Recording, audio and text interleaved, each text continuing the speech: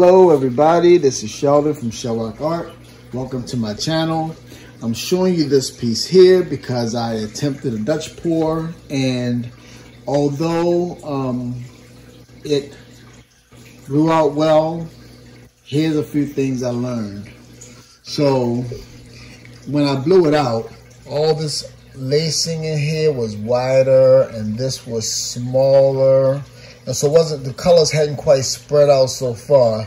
And it stretched to the point that you see these little white areas here. That's the paint that had broken up. Right in there, the little cracks in here where the paint didn't stretch out too well. So what I'm going to do is I'm going to do it again. I made the paints not only too thin, but like um, how resin kind of self-levels um, if you put too much um, paint on the surface, it will continue to try to self-level and it will continue to run off this side, this side, no matter how level it is, the canvas is. If you have like a mound of paint here, it's going to still try to flatten out. So the more it flattens out because it's thin, it's going to run off the sides. And these people, pieces going to get bigger and bigger and stretch to where it just looks a mess. So you definitely got to make sure that when you're doing these Dutch pours, you can't have a whole lot of paint on your canvas um, as far as the thickness goes. So we're going to try this again and hopefully I can get this one the way I like it. So here we go. Um, let me grab Handy Dandy.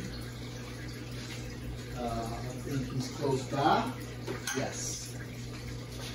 We call him Handy Dandy because he's handy and he's, what honey? Dandy, that's right. Handy and he's dandy. Okay, so I'm using Amsterdam uh, Standard Series um, for my base. And Amsterdam paint is a good paint to use for your base because you want your base to stay on the bottom. You don't want it to rise up like um, Artist Loft white wood and start to make pearls. So Amsterdam paint is a great paint to use as your paint, base paint for your Dutch pours. Um, before I get started with this, let me go over my colors with you. I have, um, this is Liquitex Pale Green. This is um, Pearl Turquoise and Liquitex Turquoise, blue turquoise blue together in here. The Pearl Turquoise is Arteza. This gives it a little bit of shimmer. This is Dioxazine Purple mixed with um, African Violet Prism Pour from Color Art here. This is Quinacridone um, Magenta mixed with Poinsettia um, Prism Pour here. And the Quinacridone Magenta is um, Liquitex. And this is Deco Art um, 24 karat gold extreme sheen. So this is gonna help me get my cells. Okay, so I'm not putting it all in that order, but those are the colors. So let's get started with um, spreading this out. I don't have one of those uh, spreaders like Canela Sirocco has, but I think Handy Dandy will do just fine. Just gonna kind of go across and just make spread it out.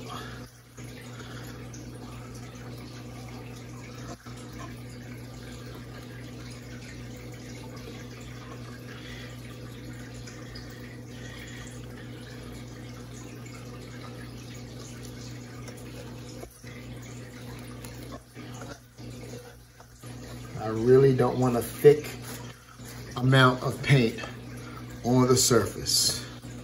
I want it just to be covered, just to be coated.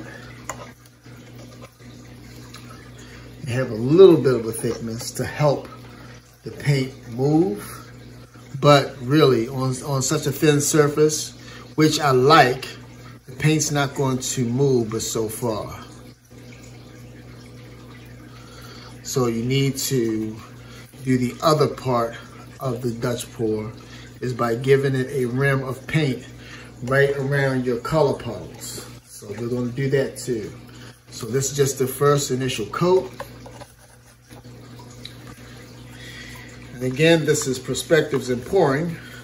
So I just wanted to use that as sort of a teaching opportunity because not everybody know it. You know, clearly I didn't know it. And I wish I would have known it as far as the consistency and the thickness of the layers go.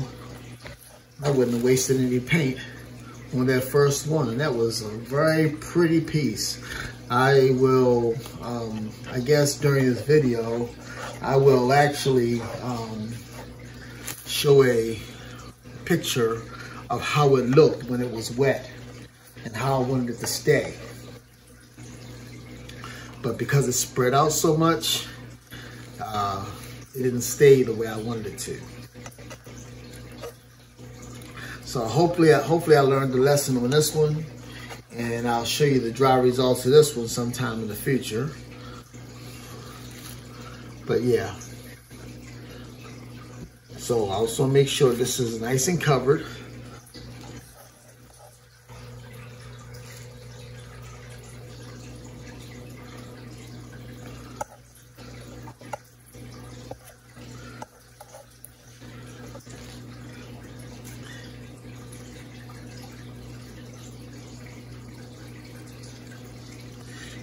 Okay, and I will smooth this around on the sides. Okay, so I didn't want to make it as thin as a pearl pour, but this is definitely pretty thin paint. I think when I made it as thin as the pearl pour, I think it was a little bit too thin. But I think this is good.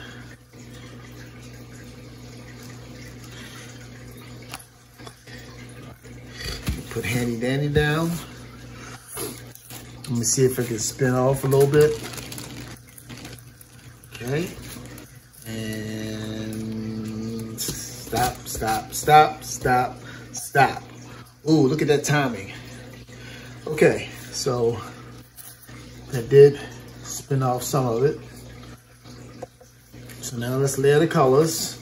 I'm gonna torch it a second, get the bubbles out. But I did shake it up and I mixed it. And I mixed it inside of its container because I figured that, hey, if I had a little bit left in here, I could actually mix it up in here as opposed to trying to scrape it into another container.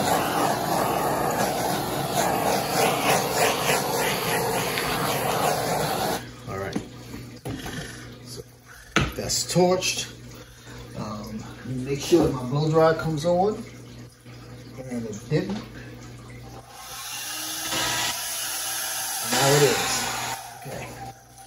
So we you ready to go. All right, so I think I'm gonna go um, with the gold in the middle.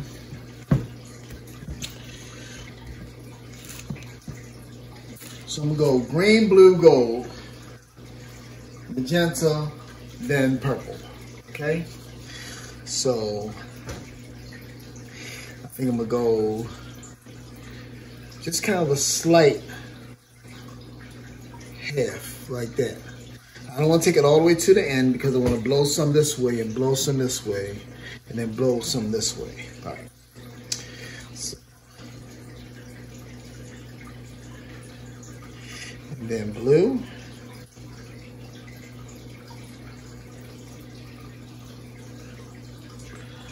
I like that blue. Definitely the gold. And this gold is what I call my cell maker.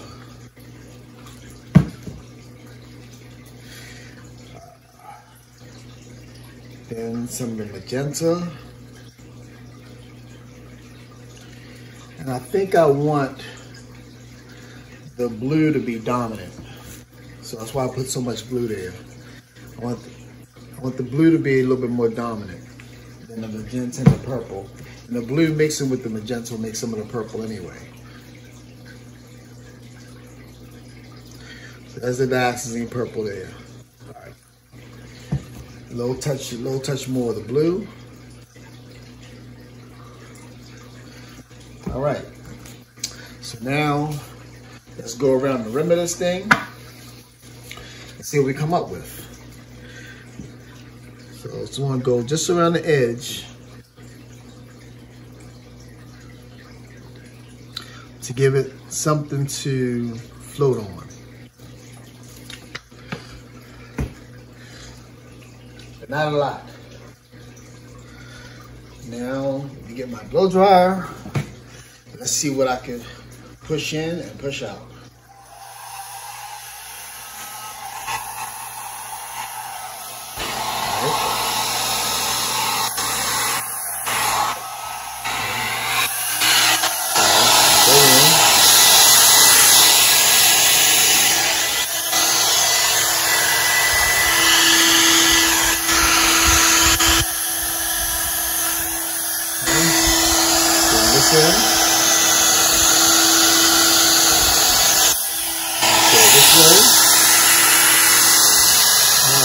Follow the paint.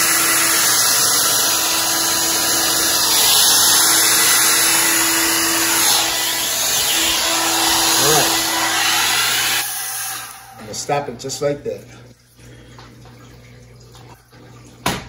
I'm gonna go in and do a little blowing, maybe to open up some of these ends here, but I think it's pretty the way it is.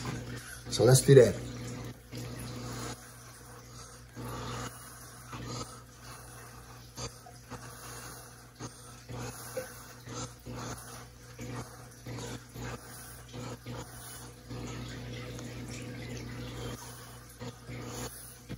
See how there's hardly any movement right here?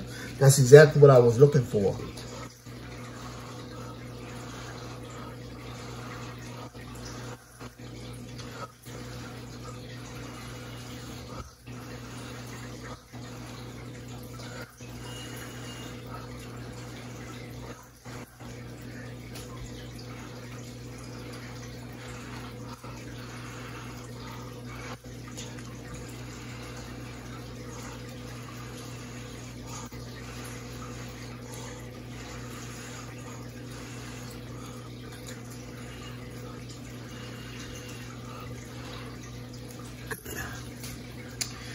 I'm liking the way that is looking already. That's a simple blowout. Um, I could bring some lines in here to kind of help it, but I just want to just make sure that it's just a perfect blowout for me. And I think I'm liking the way that looks. Let me blow this out a little bit more if I can.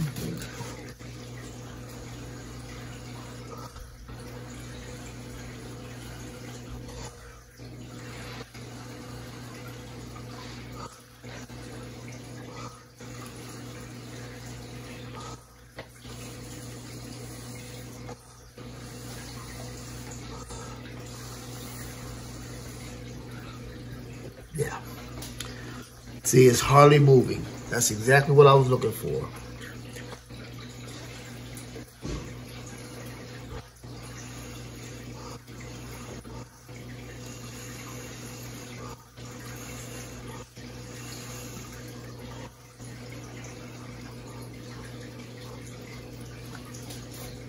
All right. So I'm going to move this on my drying table and get you in for a closer look. I don't like this little bump right here. We'll push some of those cells out on this edge. See how this is bumped out like a little lump? It looks weird.